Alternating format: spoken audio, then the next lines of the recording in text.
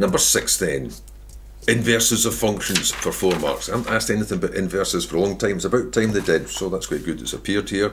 f and g are functions whose inverses exist, and if it gives you this for f of g for three marks, it wants the inverse function.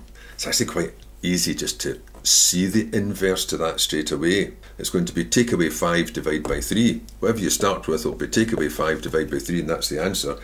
But for 3 marks I don't suppose you could just pop that down, so we'll just set it out this way.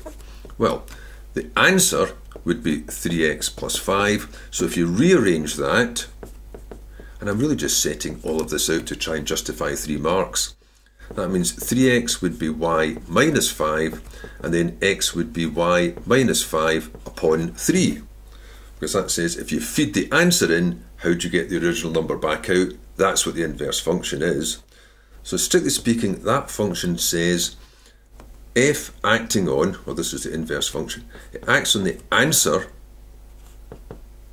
so you put in the answer and you get this, but a letter is just a letter, so you can use any letter you like, so we'll just say the inverse function of is x minus 5 upon 3.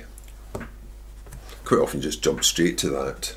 But using the letter y, strictly speaking, that is the inverse function because it operates on the answer to give you back the original number. But once you've got it, you can use any letter you like. And this last question is really just a statement of the obvious for one mark.